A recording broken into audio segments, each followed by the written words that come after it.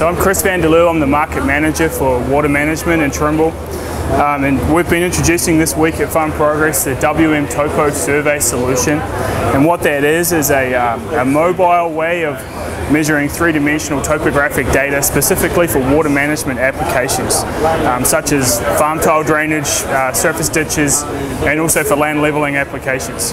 Um, so this product utilizes the AG 342 GNSS receiver, which is uh, the latest G GPS technology from Trimble, as well as the Nomad handheld, which has been around Trimble for some time, but um, it's a very well field proven product. So, uh, and it has its own special um, software or data collection software um, specifically for our water management applications. Uh, the benefits of this product are so that the, the grower or the the uh, drainage contractor or a land leveling contractor can take this product out into the field and measure uh, three-dimensional topographic data in situations that are otherwise difficult to reach with a vehicle. Um, so up until now we've had to collect topographic data with the FMX display.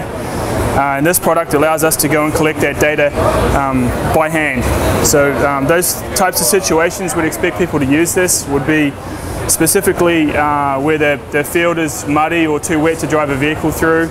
Um, also where ditches or, or um, we want to get places where we will collect data where we couldn't do it with a vehicle such as the bottom of ditches.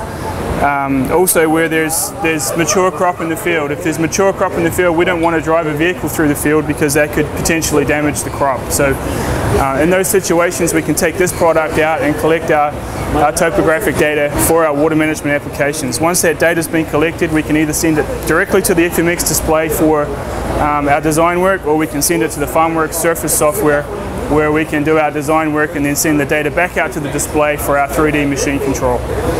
Um, so we, we expect this to be purchased by, um, like I said, drainage contractors and leveling contractors. However, as a lot of growers are starting to take on their own water management um, applications themselves now, then we expect growers to go out and, and, and use this, this type of product for collecting their data also.